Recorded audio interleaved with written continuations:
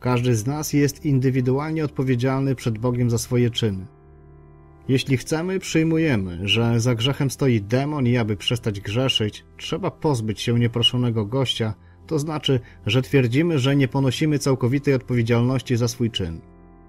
Jesteśmy bezsilni. Grzeszymy, bo demon nas do tego skłania. Winien jest on, a nie my. Czy nie oszukujemy siebie? Czy to, że grzeszymy, nie jest skutkiem grzesznej natury starego człowieka? Czy szczere nawrócenie się, wyznanie grzechów i pewność, że Ojciec przebacza, nie wystarcza?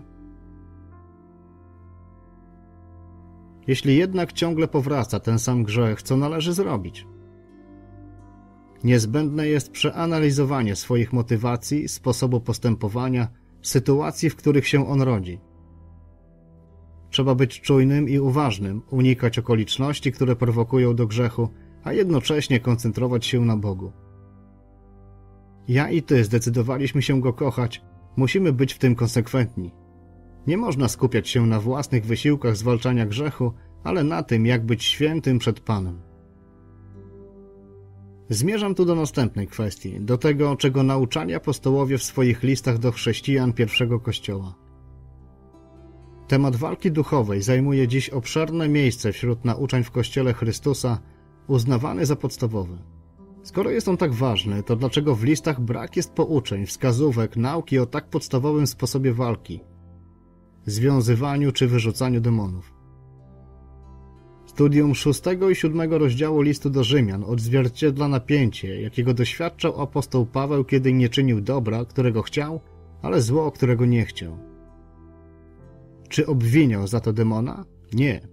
Wskazywał na walkę między duchem a ciałem, starą naturą. Cóż więc nam Paweł zaleca?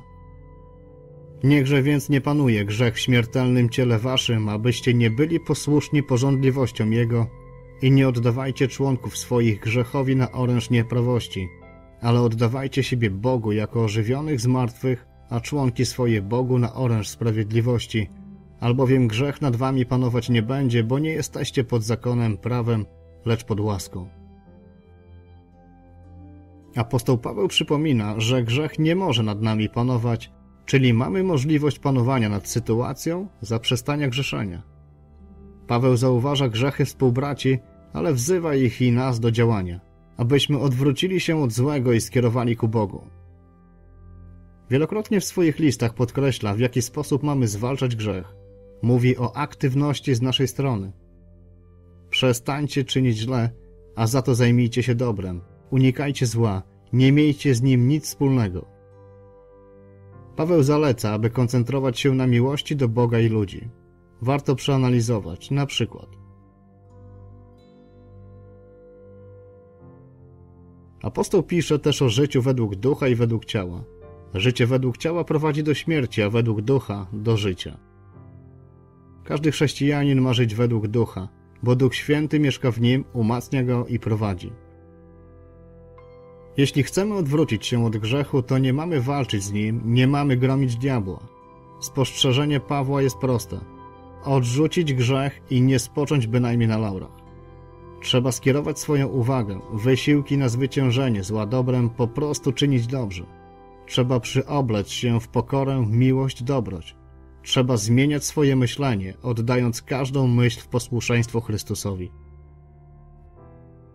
O tym, co w górze myślcie, nie o tym, co na ziemi. Umarliście bowiem, a życie wasze jest ukryte wraz z Chrystusem w Bogu. Kochamy Boga. Miłość jest przede wszystkim nie uczuciem, ale decyzją, ciągłym wyborem. Dlatego wierzę, że jeśli będziemy kochać Boga całym sercem, całym umysłem i całą swą mocą, a bliźniego swego jak siebie samego, to w naszym życiu będzie coraz mniej miejsca na to, co cielesne, ziemskie, na grzech.